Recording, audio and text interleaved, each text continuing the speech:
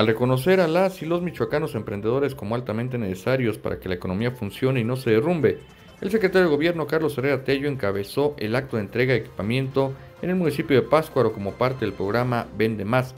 mismos que en su mayoría se destinaron al sector artesanal.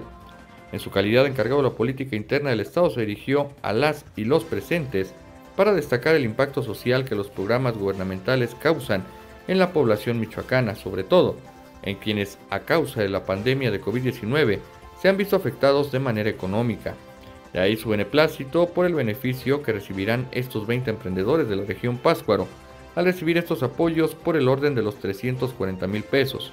que sin duda dijo harán potenciar sus negocios. Recordó que el gobierno del estado ha emprendido diversas acciones para enfrentar la crisis sanitaria y sus efectos, tales como el reconocimiento salarial para los y las trabajadoras de la salud,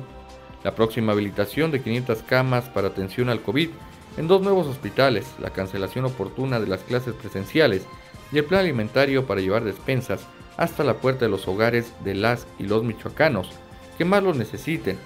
Reconoció que a pesar de atravesar una crisis sanitaria se ha buscado cómo inscribirlos al programa para que fortalezcan sus negocios y puedan vender más para generar riquezas y generar empleos.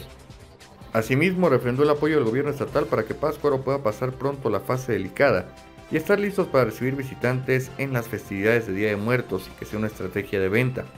Si somos cuidadosos, podríamos estar listos para recibir a todo el mundo que se quiera venir a pasear el Día de Muertos con nosotros. Diferente sería si no nos cuidamos y no nos ponemos las pilas, y si no hacemos comunidad, añadió. Por supuesto que se busca el desarrollo y la apertura económica, pero primero, dijo, se deben reducir las muertes de los michoacanos y michoacanas, y que no se infecten tantas personas. Entonces, por eso la petición de todo corazón de que nos quedemos y nos guardemos, que nos cuidemos los unos a los otros, que hagamos comunidad y que empecemos con el ejemplo nosotros mismos, complementó.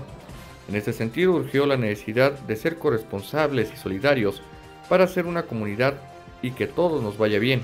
en virtud de que se atraviesa por la segunda etapa y se vienen situaciones complicadas todavía.